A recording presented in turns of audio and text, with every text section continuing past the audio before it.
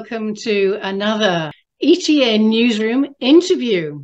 This time we are staying with the Eklectia Album participants. In this case, it is Merrell Fankhauser of surf rock fame. And you may not have heard of him. Indeed, I have to admit, I had not heard of him few years back when I interviewed him on my Amash Files radio show. And what he had to tell me was absolutely fascinating. One of the reasons I'm interviewing Merrell, who's all the way out in California, and unfortunately, we don't have any internet connection, but we do have the phone.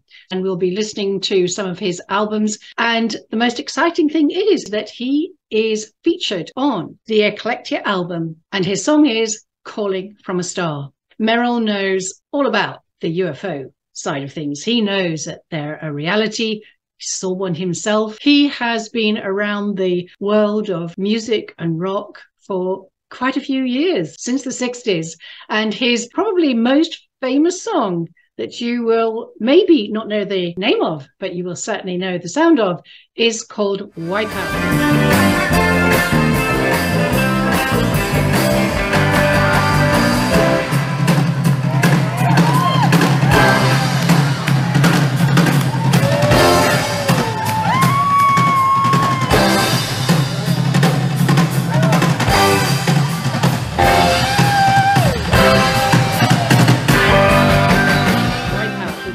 Big hit all the way back in 1962. Well, he has never stopped working, has never stopped producing with over 400 and odd songs to his credit, loads of albums, and a lot of TV and movies using his songs and tracks. I'm really dying for you to hear what Merrell has to say, not only about being part of this incredible album, Eklectia, which features the X Factor element with musicians and singer songwriters. Everybody has had either a sighting or a close up and personal interaction with these other intelligences. And Merrell is no different. We'll find out that some of his albums have some of the paranormal to it. So hold on to your hats. You're in for a fascinating ride. Friday, 23rd of March 2023. I am here with Merrell Fankhauser, father of surf rock. Do you tell us about this getaway cabin that you had and then the stories that you heard about what was happening there? I was referring to the uh, cover of the Message to the Universe album that I did when I was living on Maui, and it has me up on this hill with the crater in back of me and a little alien band around the bottom playing with me. And this all came about my cabin that I would get away into the rainforest. And I love to go out there and get inspired and write music. Well, a guy that lived way out in the jungle there he was saying that he would wake up in the middle of the night and hear these noises in his banana patch, and he'd go out and he swore there were little aliens there in the banana patch doing something with his bananas. And uh, I thought it was such a funny and interesting story that it inspired me to write the song Alien Talk and uh, it's on the Message to the Universe album that for years was only out on a vinyl LP, and now it's out on a CD.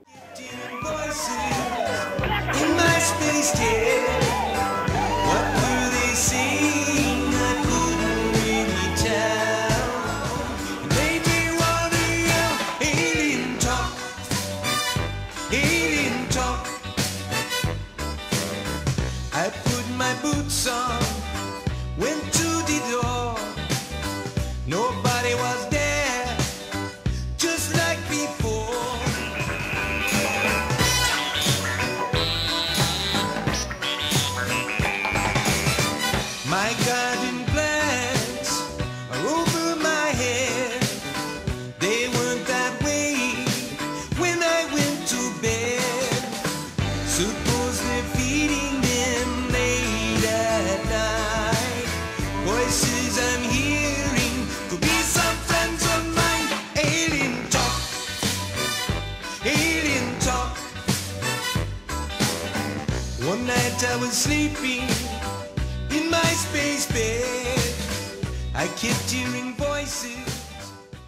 And when the album came out, the song Alien Talk was the song that really took off on that album. A lot of people still will not know your background, and uh, and people will know that you're in California from the intro, but they don't know how you got started with your interest in UFOs and also the music, because that is such a factor and feature in, of course, the album that brings those pieces together of Eklectia which is the album with those participants who have the X factor of either seeing or having interaction with other intelligences.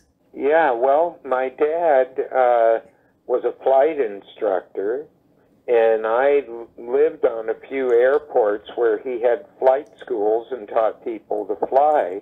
And he taught me to fly when I was about 14 years old. And I was always interested in aviation, but also UFOs. And I remember asking my dad if he really thought there was somebody out there. And he said, yes. He said, it would be too egotistical of us to think we're the only ones in the universe. And that always stuck with me, Joanna.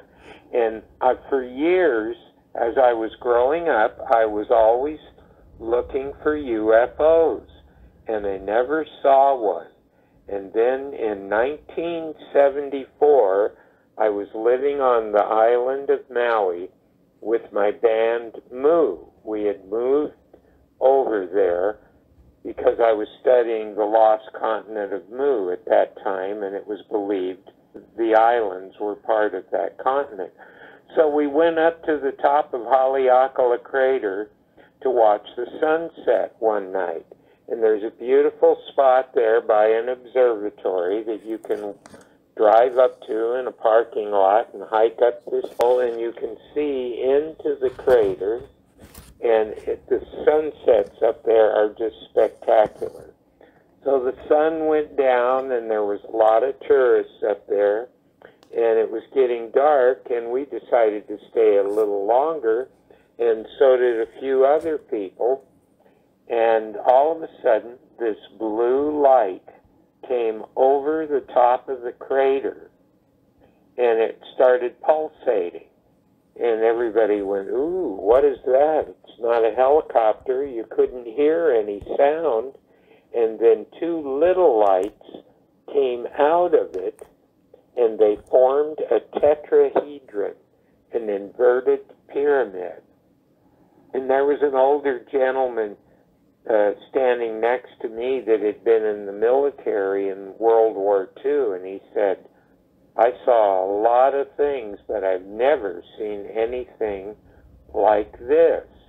And we watched it for four or five minutes, and then all the lights, the two little lights, went back into the big light, and it shot straight up in an instant and disappeared.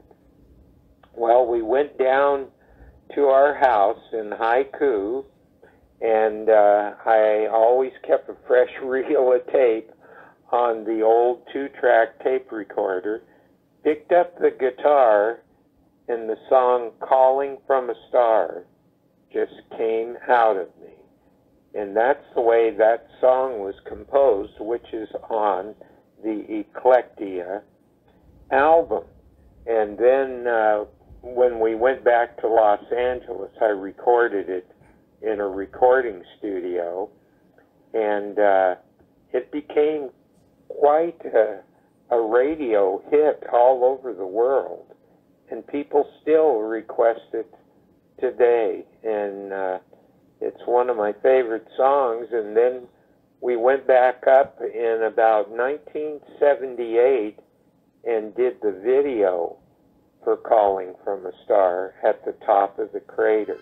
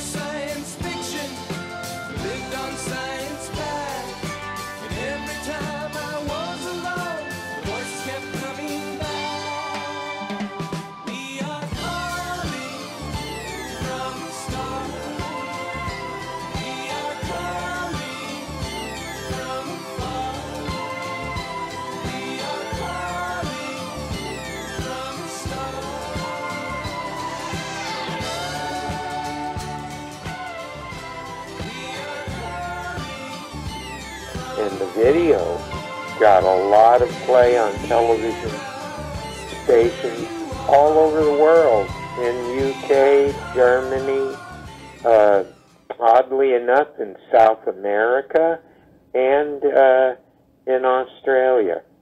And I'd love you to just tell the story to what John Lennon's comments were. Yeah, I was still living on Maui, and it was early 70s, but I was friends with the singer-songwriter Harry Nilsson. In the 60s, we both wrote for a publishing company, and we were in little cubby offices in Hollywood. He and I became good friends, and he was putting albums out on RCA, and the Beatles heard him and really liked his work. And when John Lennon came over to LA, he looked Harry up. They had called Harry on the phone, and uh, first it was Paul McCartney that called and said, Harry, this is Paul McCartney. We really love your material. And he goes, Who is this? And he hung up on McCartney. And then John called, and John says, Harry, this is John Lennon. It really is. Please don't hang up. And that's how their friendship started.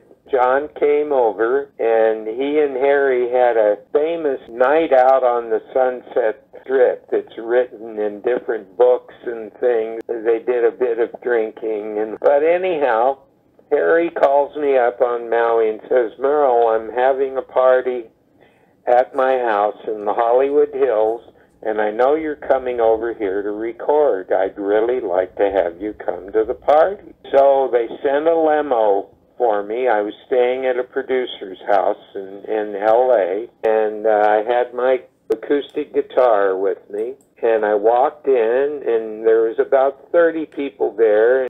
And he said, This is my friend Merle from Maui, and he's going to play a few songs for us. And I looked across the room and I went, Oh my God, that's John Lennon sitting there. And I played in front of thousands of people, Joanna, and I never in my life got nervous, but I got a little nervous when I saw John sitting there. I think uh, his and Yoko's housekeeper, May Pang, was there sitting with John.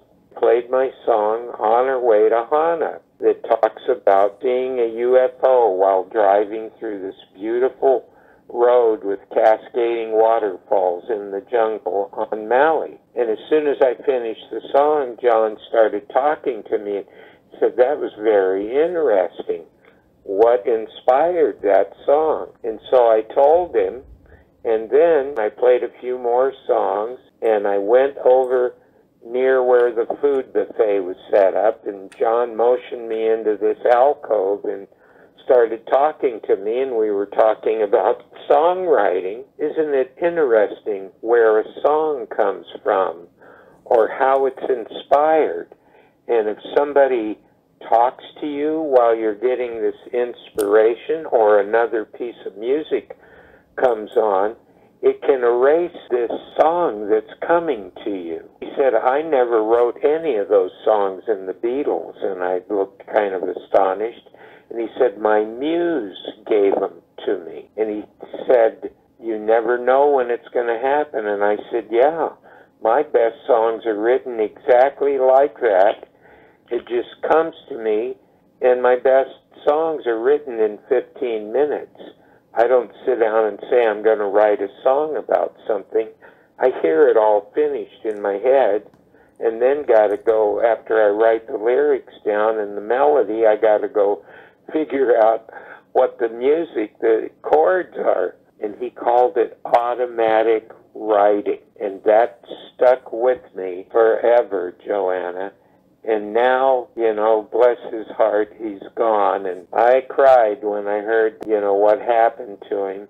And actually, I've had the pleasure of talking to Yoko on the phone a couple of times. And she said, yeah, when he came back from LA, he mentioned you, how inspired and talented you were as a songwriter. And I've talked to her once since, and I heard that she's now in a wheelchair.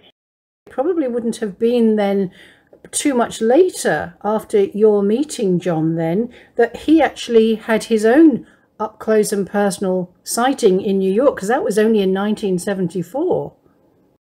Over here, up there, I saw a UFO and it went down the river, turned right at the United Nations, turned left, and then down the river. It wasn't a helicopter, it wasn't a balloon, and it was so near, silent, and it looked dark like black or grey in the middle and had white lights, just looked like light bulbs, you know, just going off, on, off, on, off, on, blink, blink, blink, blink. Round the I belt, understand bottom, on top was a- that he was actually visited and given Yeah. a metallic object that is an egg-like. I I don't know what that is. Uri Geller has it in his museum out in, in Israel now. Uh, apparently, John was really scared about that, and that's why he gave this little artifact to Uri Geller, as far as I understand. Yeah, I mean, uh, the way it just comes through me, and I can't uh, even explain it to people. And now I have nearly 50 albums out, you know, counting other groups and solo. And this discography that a discographer did on me, he found 138 releases, counting the compilations like Eklectia and other ones that I'm on, and that's not counting the bootlegs. There's a lot of bootlegs out there, and I look at my wall of stuff, Joanna, uh, in my studio. I can't even fit all my releases on the walls in there. I don't have enough room, and I go, my gosh, how did I do all of this? remember one time the fantastic uh, movie and record producer William E. McEuen that produced my Return to Mu album. He produced the Nitty Gritty Dirt Band and the Allman Brothers. He said, Merle, do you know you have at least 10 times more albums than the Rolling Stones and the Beatles put together? And I said, yeah, but the difference is is that all of theirs are million sellers, and I've only had two million sellers. But he said that's still quite a body of work. He said I'm really impressed at how prolific you are. And Joanna, the local college here, it's a prestigious college in San Luis Obispo, not too far from me. They just interviewed me last week, and they're doing a digital presentation on me and all my work It's going to be in the college and in a museum in Paso Robles to inspire college students that are majoring in music and the arts. And I think that's wonderful. My friends on Maui, though, all say, Merle, you've belonged in a museum for a long time. But awards now, they gave me a an award for the California Central Coast music artist that has come out of this area, and they gave me a local music legend. And that was only in November last year, 2022. And that was on television here. And I'm, I'm very blessed uh, after all I've done, you know, the recognition is nice. too. Yeah, absolutely. and it is the Local Legend Award. Uh, this one is someone who has contributed to our local music scene for many years. At tonight's Local Legend Award, we are recognizing Merle Fankhauser. Yeah. Merle is arguably the biggest name in rock and roll to ever emerge from the Central Coast. Uh, born in Louisville, Kentucky, he took up the guitar after moving to California as a teenager, eventually joining local instrumental surf rock band The Impacts in 1961. Del-Fi Records released their classic Wipeout album in 1962. In 1967, UIP Records released Fankhauser's psychedelic folk rock album Fapardokly. It basically represents uh, a piece of each band member's name that was in his band at the time. Fapardokly. And now a valuable collector's item. Uh, that album sells for something like $1,500 for a sealed copy. So uh, then came Things by Merle Fankhauser and HMS Bounty on UNI Records. Next came two albums by Merle's group, MU. On ERA and RTV Records. 1971, then, second album on United Artists Re- Records in 1974. And then Merle's solo record, Maui album came out in 1976 on Maui Music Records. 1995, Merle joined forces with Spirit drummer Ed Cassidy and formed the Fankhauser Cassidy Band. And D-Town Records released their On the Blue Road album. Many Merle solo albums followed. Just last month, on October 28th, Amazon released an anthology titled Going Round in My Mind, the Merle Fankhauser Anthology, 1964 to 1979. All told, he's written and released more than 400 songs over the last 60 years.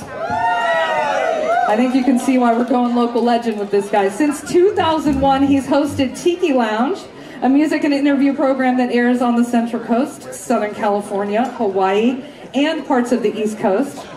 He is truly a living legend, an international treasure who happens to call the Central Coast home. And we are so lucky to have him tonight on our stage. Ladies, gentlemen, theys, thems, Merle Fankhauser.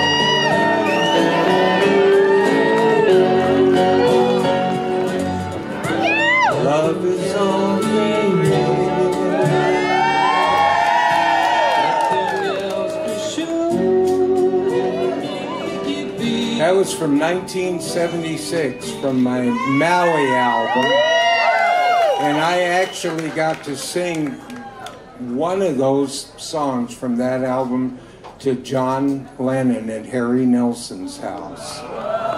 And it was amazing when I met John and he loved my music, but I was so nervous. I'd never gotten nervous before in front of anybody and my lips started twitching.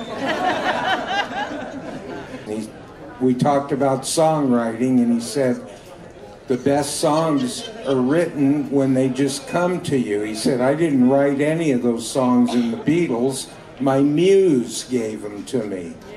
And I said, my best songs are written in 15 minutes. And he said, mine too. And he called it automatic writing. And that stuck with me forever. And now, I can't believe it, I'm standing up here.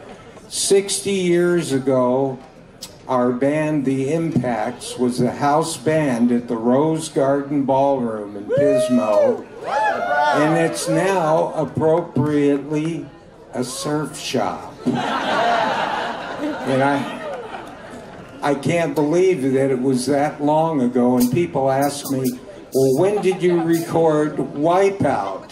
I was 17 and and Del-Fi Records discovered us there and put out our Wipeout album that eventually sold a million copies. It, it's sti- still out there on CD. I just can't thank Glen Starkey enough for all the years that he's written reviews about all of my releases. Now I have over 45 albums out, one Grammy nomination.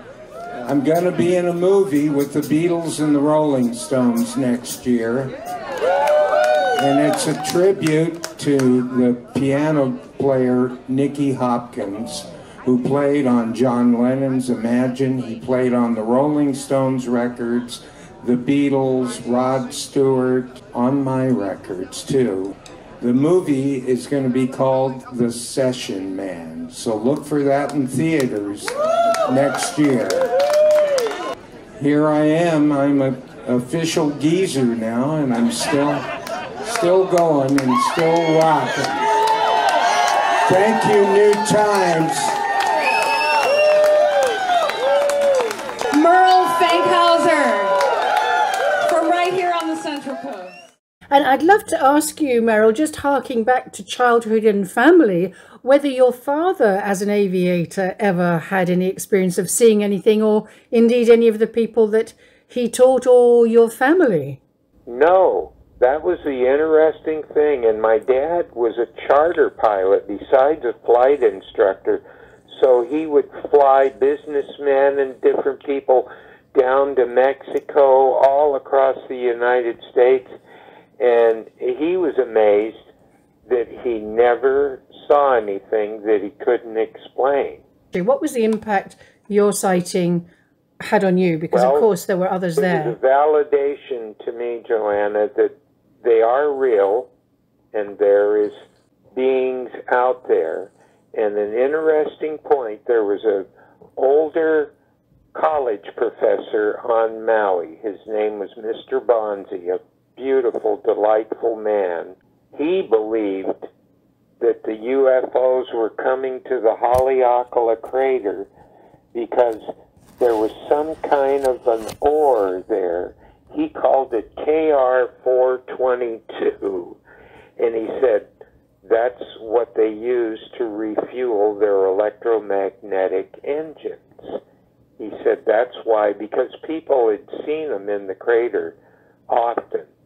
And uh, th- there was a story about when Jimi Hendrix and the film crew were filming Rainbow Bridge on Maui, and he wanted to hike in the crater, and they hiked in the crater, and they said there in broad daylight, a silver disc came and hovered in front of the whole crew. And Jimi walked out and said, Welcome, Space Brothers, with his arms open. They were trying to get a big movie camera because they didn't have these nice little, you know, video cameras then. Trying to get this big thing off of a mule, and when they moved the camera over towards the UFO, it just, in a blink of an eye, disappeared.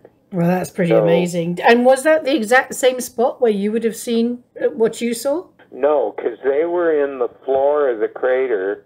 Uh, we were up on the top rim of the crater, which would be maybe another 800 feet taller up there. But I have hiked through the floor of the crater before and spent the night in there and slept in a cave. The guys in Mu and a couple of lady friends went with us, and it was quite an adventure. We were looking all night that night and we didn't see a thing. It's a very difficult hike because when you're at 10,500 feet, you know, your windpipe wants to close up. It's not easy to breathe. It's actually, there's a picture on one of our albums of us in the crater. And I'm glad I did all of those things when I was much younger. I've always been sort of a spiritual person, even when I was a young kid. I would meditate a lot, and then when I moved to Maui, uh, there was a Tibetan Buddhist ashram there. I got to meditate with the lamas, and I took initiation, and I played music for them. And mine was the first music from this part of the world they ever heard, and it was my spiritual messages, and I sang them a song about Mu, and I sang them a song about UFO. And then they gave me this certificate that I still have. The name on it that they gave me was Lodru Chansal, which translates to Oceans of Intelligence. I wrote a song called Oceans of Intelligence. I was inspired to write that. The lyrics on that still, when I read them or listen to the song, it gives me chills. The Lamas, I oh, I got along so well with them, and I got to talk to them about the lost continent of Mu, and they believed in that and UFOs for sure. They believed, you know, in other beings from other worlds. And that was a very inspirational time for me. And all of this contributes to the subject matter in my songs. And then the other album, uh, years later, I was over here and we took a drive towards the Area 51 where they say they have a captured saucer and and I went out there with a group and we videoed it and actually put part of it on my TV show Tiki Lounge. You can't get in through the gates. You have to have a clearance. But there's a restaurant and bar and mobile home area in the middle of the desert out there. Yes, I've been there. You have the little alien inn. Yeah, little alien. it's amazing. Yeah. And, Well, we did a whole thing there and videoed it. People everywhere, when they saw that, loved it. I tried to get some of the people in there to talk about things. They were open to me and let me video in there, but they didn't have much to say. That kind of inspired me to do the uh, CD album called Area 51 Suite. And that was uh, Rob Ayling, the head of Gonzo Multimedia Records in uh, London. He said, You must do uh, songs about Area 51. And that was another thing I sat down, Joanna, and probably in two weeks I wrote all the songs that were on that album. Really just feel it's all a gift, thankful every day. Well, I was living still in Los Angeles at the time because we were recording and playing there a lot. And that's when I found the book in a house I had rented called The Lost Continent of Mu by Colonel James Churchward. His great grandson has been communicating with me now through emails. But when I found this book and it said that the islands of Hawaii were the mountain peaks of the lost continent of Mu, that it, at one time it was up out of the water, all of the islands, and that was Mu, and that's when the water the ocean was in our deserts here in California. And there's places you can go and you can find fossilized starfish and things that you can tell have been under the water out in the desert here. So I told the guys we've got to go to Mu and we had changed the name of the band to Mu and we were studying everything we could find on it and so we went to Maui, the record company said, What? You're moving to an island in the middle of the Pacific? And I said, Yeah, it's our destiny and it's something we have to do. And so uh, we had our first Mu album out already. Through the studies, I found that a lot of the South American Indians had Mu written in all of their hieroglyphics and everything. And Colonel Churchward mentions that in his book, shows the symbol. So we moved over there. We were scheduled to play a concert there, and as soon as we did that and we rented the house that we moved into, I was off in the jungle looking for things. And when I built the cabin in the jungle and I leased this land from an old Hawaiian family, and when the older man, Johnny Kahamoy, came down and saw how I had cleared the land in this valley and rebuilt these 200 year old taro patch walls. He started crying. He said, This is amazing, Merrell. Said, My daughter and my son, they work for United Airlines and they both live in LA. They won't stay here and work the land like you're doing. He said, I want to show you something in this valley over here. So he took me down by the stream, showed me these cut stairs. They looked like they'd been cut with a saw or something. They weren't anything Hawaiian. The Hawaiian just basically stacked up lava rocks. And these, you could tell somebody had manufactured these steps going down into this valley and he wouldn't go down there. He said, I used to go down there and play as a little kid. He said, but my parents told me, don't you go down there, Johnny. The Mu will get you and take you away. He was now a Christian, and there was a Hawaiian church there that I would sometimes go sing in and he told me how the missionaries came and made everybody not talk about any Hawaiian history that they knew of or anything ancient. They changed them all to Christian. They were trying to convince them it was a devil's work to believe the old way. So anyhow, had a camera, uh, just a still camera, and I walked down these steps and I was just marveled at how somebody cut these steps going down into this valley by the stream. And then I turned around and looked, and there were three pillars that were maybe 40 feet tall, and I swear they looked like Mayan or Incan, or even a little touch of Greek, the way they were like carved, knurled sides.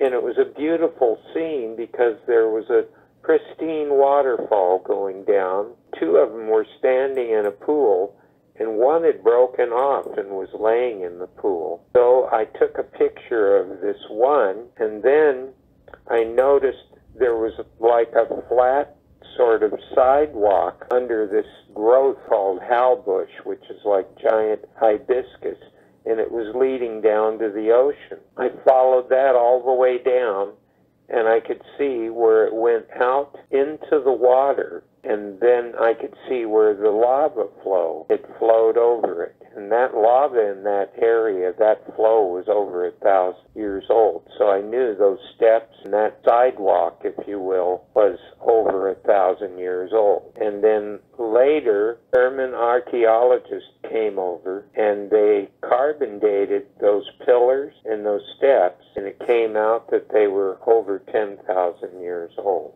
And that's in my book, Calling from a Star, the Merrell Fankhauser story, and the picture is in there. And then I found a pyramid in Haleakala crater, and it was sticking out of the lava flow about 40 feet. And I risked my life hiking to it. You're not supposed to leave the trail, and I jumped these deep chasms that I could have fallen into to get to it climbed up on the side of it and got such vertigo I thought I was going to, you know, just fall over.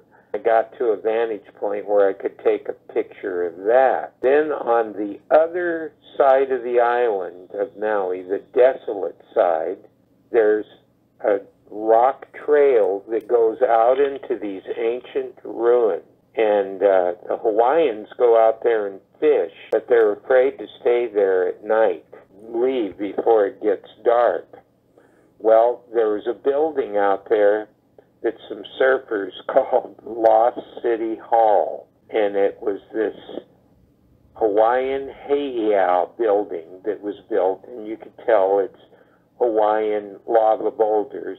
The roof on it had long since deteriorated, but a guy told me, you go over in the right corner and there's a hole there and a rickety ladder that somebody made. Go down there and look at that. And I did, Joanna. And the rock and stonework, it was like a basement. It was the same as on the complete other side of the island. And the story went, and this is in a book written by a Hawaiian called Children of the Rainbow. When the Hawaiians came to Maui from Tahiti, there were several thousand people living in that area before the lava came and flowed over everything. They said that it was a Caucasian race and they were mostly blonde and red haired. And there was an axe head found in there, a stone axe head that wasn't like anything the Hawaiians would make and that's in the Bishop Museum in Honolulu, and they believe it might be Viking origin. But an interesting thing, a journalist from National Geographic magazine heard about my expedition out there, and I videoed some of it. Back then, we were carrying the first video cameras, but they were huge. And um, I talked to the the uh, local newspaper about it which in a way was a mistake because there was a lot of people that didn't want this exposed and they did a little article on it in the paper and they did an article about the pyramid I found. And nobody had known about any of those things. And even young Hawaiians would get in touch with me and go my father my grandfather nobody ever told me about this you know? And they were amazed that I knew all of this and discovered it because I was on a search to find the remnants of Mu, and I found something. and did anybody ever go and were they ever able to date the pyramid? No, that I don't know.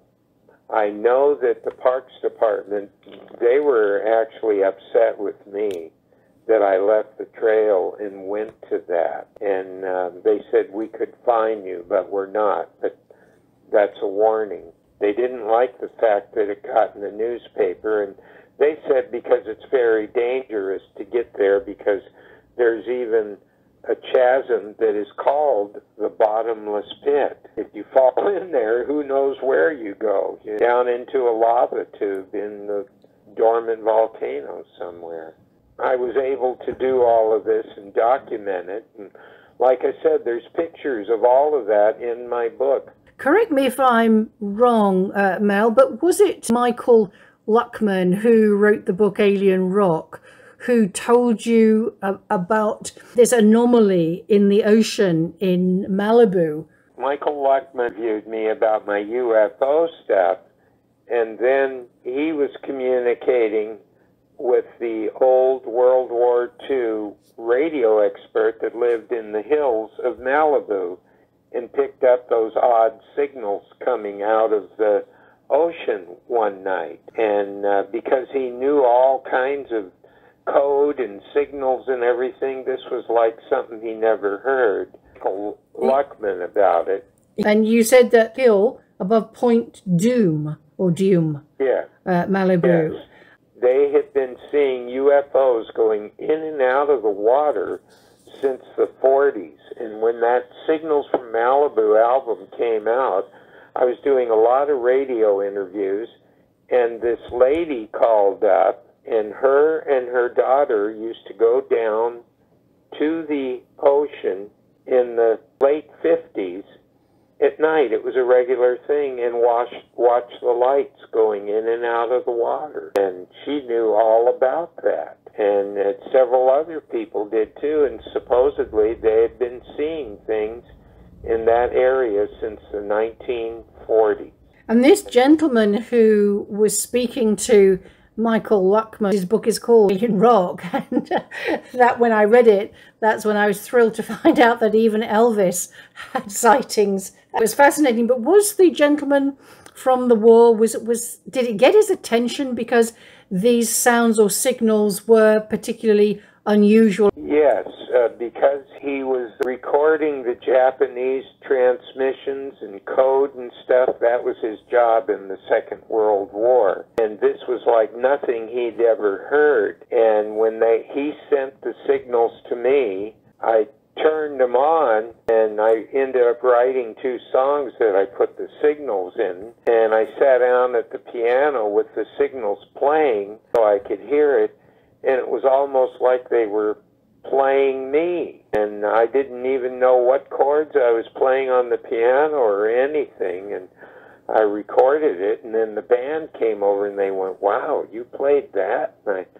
I said, Yeah, listen to this. I put those signals, they're loud on that Messages from the Dome song, and that's the one that uh, I told you. And several stations, when it got to that part, it took them off the air. What the thing was, the stations that I had had problems with, there was one in Austin, Texas, there was one in Sacramento, and I thought there was one in England. When they would get to that part of the song where I brought those signals out loud on the end, it would shut them off. But the stations that had older mixing boards, and the ones that were analog didn't affect them. It affected mainly the ones with newer digital mixing boards.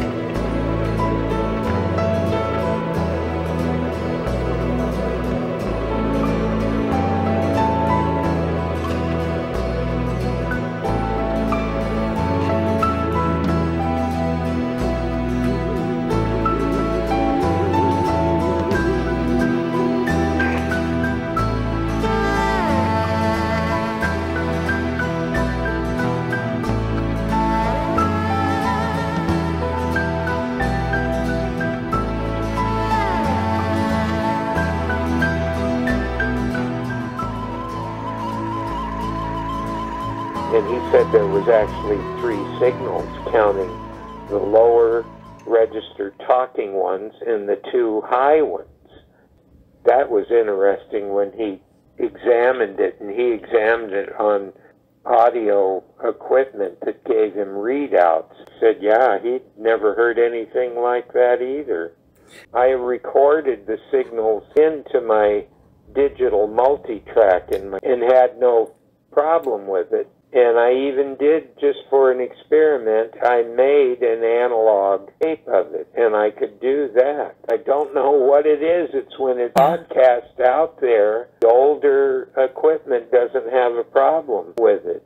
Did you find that some people had a an emotional response to the sounds? Yeah, there was one lady that for some reason it brought her to tears. I do remember that. With me, it just affected me like it was sending me a, a message or something because that song, the piano player and the violinist that play in my band both went, Merrell, this is like a classical piece of music. The song Signals from Malibu has the signals in it too, and William McEuen, the movie producer, said, Boy, this is classic for a sci fi. So I've sent that now to a couple of my sync agents because, you know, I'm getting so many songs in movies. Just in uh, 2022, I had something like 18 songs in movies and TV shows four more just since January. Yeah, and one of them was in an award winning movie, The Trial of the Chicago Seven. And a lot of the songs that they like are my 60s and 70s songs because they do a lot of these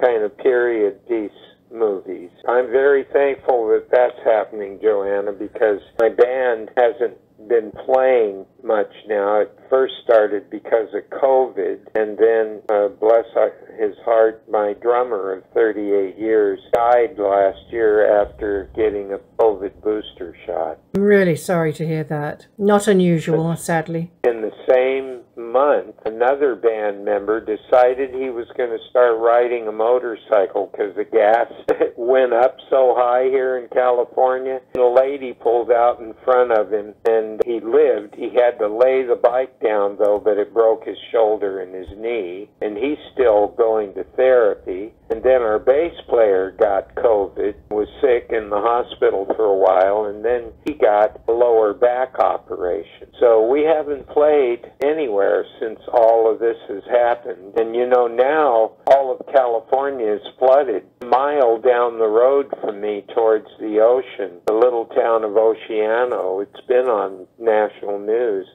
The whole thing is flooded because all of the dams are full of water and they're going over the spillway and uh, all the way up the coast up to Monterey. San Francisco was flooded. LA was flooded, and we've been having one storm after another. And this is the first day now, just about since January, that we actually haven't had a deluge of rain.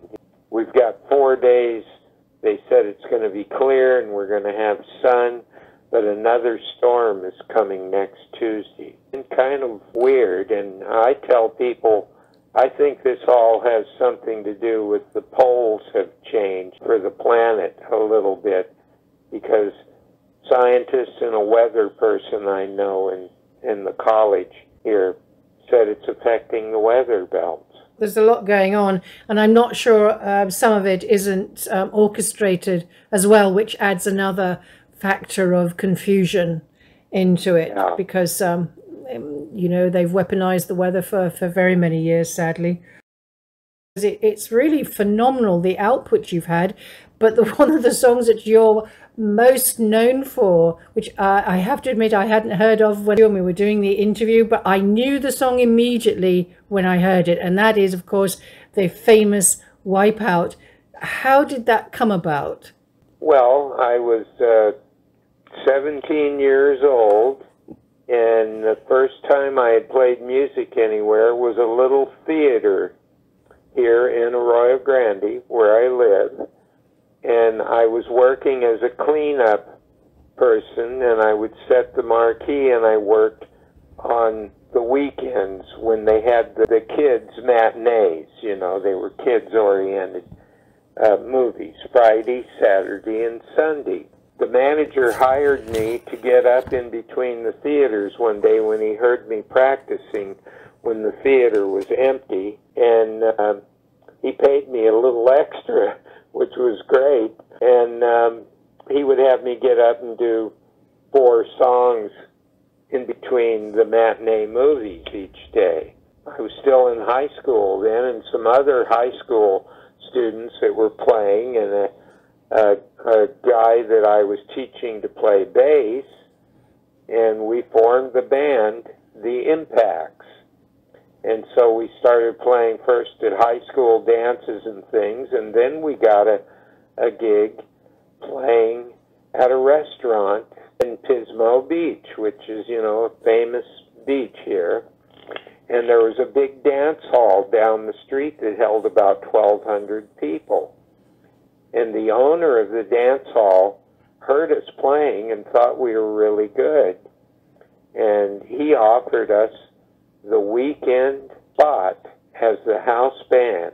We played Friday night, Saturday, and Sunday matinees at this big ballroom called the Rose Garden Ballroom. And so I was a surfer and I was writing instrumentals because that was popular in the day, but the term surf music hadn't been coined yet. And I started, uh, Pier is right near this uh, dance hall, and it was a big dance hall in the 40s, even, and it was a big, really neat building with a lot of character. And so I was out there surfing one day, and I'd written this song called Kick Out, which was a surf term, and we were playing these songs on stage, and uh, I was putting surf titles to them. And so I had this song called Kick Out already written, and I was daydreaming, sitting on my board, and a big wave came along and took me over the falls and dragged me along the sand, and I had sand in my face and my ears. And our sax player was sitting up against the break wall, and there were a lot of pretty girls sitting along there. And he was going, ah ha ha ha! Look at Merrell. He really got wiped out on that one, you know. And he was embarrassing me in front of these pretty girls. So I go up, and there were outdoor showers there, and get all the sand and water out of my hair and my ears, and put my board in the car, and I'm driving home, and I'm thinking, Wipeout. That might be a better title for that song instead of Kick Out. So we started calling it Wipeout, and then these two producers and a producer from Hollywood was up here vacationing and heard us playing and said, How would you boys like to cut a record? Do you have enough songs for an album? And I said, Oh, we got enough for two albums. So they took us down to LA, and one afternoon we recorded an entire album, and Wipeout was in that set. Well, that's pretty phenomenal. And, and were you still around 17 at the time? I was still 17, and uh, you know, it it was really something that they sold the record to Del-Fi Records, which was a big label then that put out Ritchie Valens, a bunch of other artists, and we had no idea, Joanna, what contracts were or how to copyright songs or anything, you know, or anything about ASCAP or BMI. And these guys got an undisclosed amount of money in front from the record company, and they didn't put any songwriters on the back of all of the songs that I wrote most of. And they had all of the money, including the radio airplay, going to them. So they wanted us to record again in the first version, a Wipeout only had one drum solo in it. They had us come back down to LA and they wanted us to redo Wipeout and a few other songs that I had written that ended up on compilations with then other surf bands. So they said, but you need to put that drum solo in every verse. And we thought that was a dumb idea. And then we said, well, we're not going to record until you give us a contract. My dad asked if, did you boys sign anything? How are you going to get anything from this? So they brought out some contracts and we kind of read them and didn't really understand what we were signing. And we signed it and we recorded the song, took the song home to our parents, I mean, the contract. And, oh, and they paid us a dollar. They said some money had to be exchanged for it to be legal. Yeah, just any money to make it legal. My dad looked at it and said, You boys just signed all of your rights away for a dollar. And he was right. We took it to an attorney, and there really wasn't anything we could do. We were all 18 by then, and uh, it took me till 1994 to get the rights back, that album and that song. And we finally started getting royalties from the whole album. Got the money, and uh, we had an attorney, and luckily the president of the record company decided, well, he could give it to us, so we started making money from it from then on. But these guys, they were song sharks, we call them, because they did this to so many bands, and they played our second version of Wipeout for a whole bunch of different bands, and the Ventures even heard it and did a recording. And I didn't get any anything out of any of those. I find the first check I got, we were all so happy, and this was in 1994. The record company gave us a check for four thousand eight hundred dollars. Oh gosh! but it, but millions have been made. We split it, yeah. split it up with the band members that were still alive, and the the bass player that I had taught, he had passed away. The drummer had passed away. The other guitar player I think he had passed away then. And a lot of those guys, that, they didn't take drugs. They were all cigarette smokers. Story of Wipeout. And now, one of the legendary creators of instrumental surf music, Merrell Fankhauser. Thanks to Willie Kay and Willie Nelson. We're going to do Wipeout for you right now.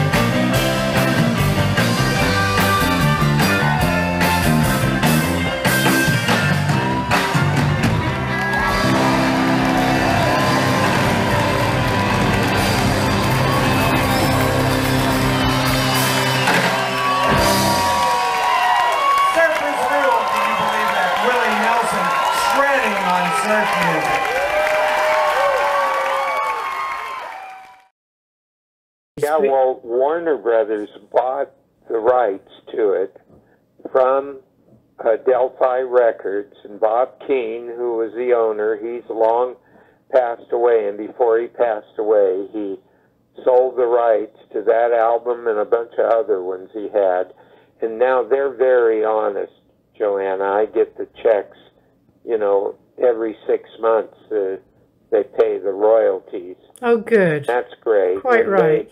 Reissued our entire album with our names on it and the songwriting credits.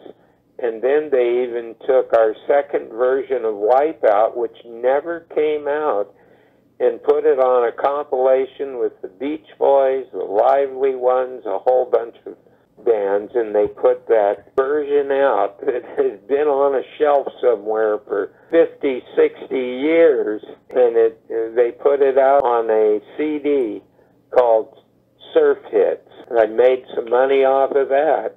So Good. that was good. Tell us about this uh, film that you're going to be in this year, that's 2023, tribute to a friend of yours who is a pianist, whiz kid by all accounts, Nicky. Yes, Nicky Hopkins, what a wonderful person. I cried when he passed away too. He had a stomach aneurysm and he was down in Florida recording. Hey, Nick, it's great to have you here today.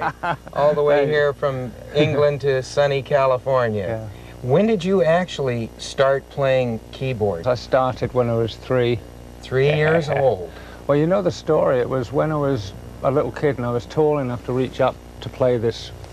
Oh, well, I didn't know what was up there. It's just this table thing, and all of a sudden these things on the top, which were the keys, right, Uh-huh. started making a noise. Uh-huh. And I got into it. Mum lifted me up and helped me for about three years, and you know, I picked it up. So by the time you were six, you were rocking out, huh? Mm, almost. Yeah. and then, uh, what, what was your first uh, professional gigs that you actually did? The first pro gig I did was with this bizarre character called Screaming Lord Sutch. Oh, yes, I remember Screaming Lord Sutch. I know. He Yes. toured here with a Union Jack covered Rolls Royce. Yes. I saw that in, in Hollywood. I remember seeing that. Me too. And what year was that about? 68. That was 68. Yeah. Oh, that was no, that was when he was over here. Yeah, I thought it was earlier. For me, it was 1960. No, that was his first band. In fact, everybody who was in the band, including Sutch, it was their first band. Six. I see. Um, but the first time where I did any playing live was in Mhm. '68 with Jeff Beck. And I have to admit, being, I guess now, we're one, we're the ones who are considered the old farts, you know. Yeah, right. but uh, Yeah. it, it's funny, but I swear that our music was better than most things that are going on today. 62 Oh. to 63. 62 to And curiously enough, it was during that period of doing the marquee every week that I met up with the Stones. You see. In fact, they were just starting and we were just starting. We already had our audience. Mm-hmm. Uh, they didn't, so they were our support band. About Yeah. 1967. Uh-huh. Now they had, as I say, they'd become incredibly successful. And apart from, I think, their first album, all their albums then were done in the States. That started a relationship that actually went on till about 1981. Devil, Angie, um, I forget half most Yeah. songs. I mean, it goes. Right. I'd love to see the Tin Man album come out, except I think I own the rights to it, so it may You not. You think you own the rights? Well, so- I had this real sharp lawyer, right, back Uh-huh. then, and got back to 72, and he set it up so that the rights came back to me after seven years. Look into that. We're going to take a break right now, and we'll be right back. He had played on many of the Beatles records, a lot of the Rolling Stones, Rod Stewart, you know, all of the 60s and 70s stuff. He played on John Lennon's Imagine album. He played on Imagine. I have a picture of him sitting at the piano with John. He was just a remarkable person. I met him when I had him on my TV show I was doing in 1991 called California Music. And it was on satellite and it went all over the United States and parts of South America. Uh, we hit it off right away and Uh, he said, let's do some recording. So I got him on Queen Mu, beautiful piano part that ended up on Return to Mu. And this was in 1991 and 92, and we did a concert together, and I did a great interview with him live on the TV show, and me, and he and his wife Moira would stay at my house here on the Central Coast whenever they were coming through, and we were scheduled to get together again when he passed away in Florida. I wrote a song that uh, called Nicky's Song. It came out on CD in 1995 and got a lot of radio play, and I got tons of mail from K and all over Europe. It's on YouTube, Nicky's Song by Merrell Fankhauser. This one's for Nicky, my friend the piano man. This one's for Nicky, won't be one like him again.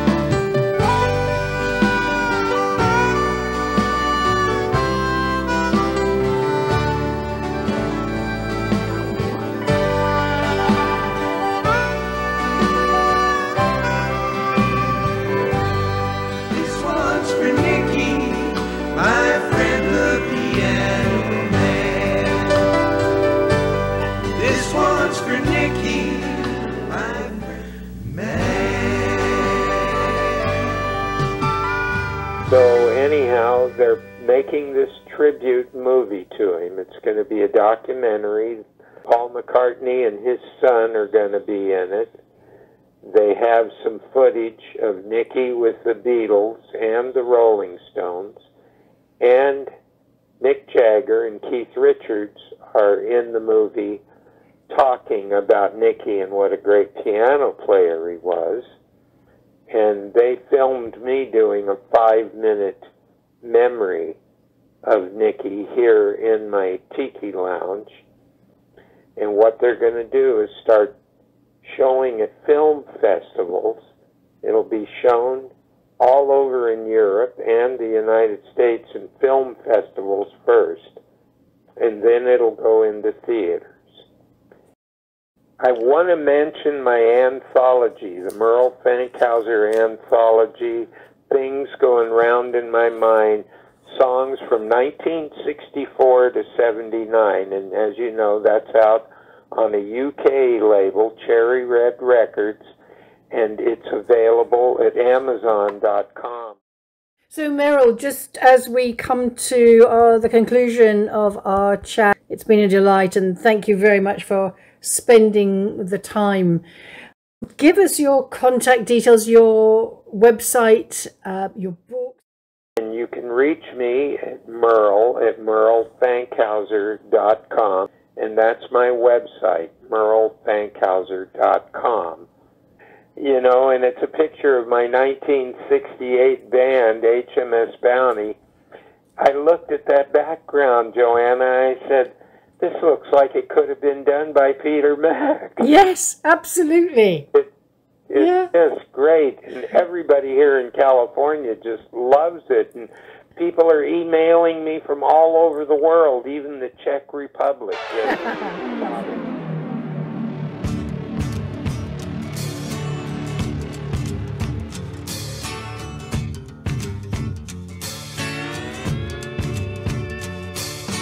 When